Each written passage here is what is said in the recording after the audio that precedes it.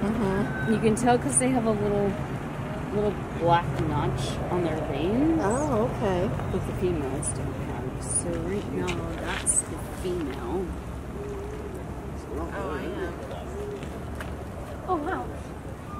Oh, yeah, and this one towards him is the male.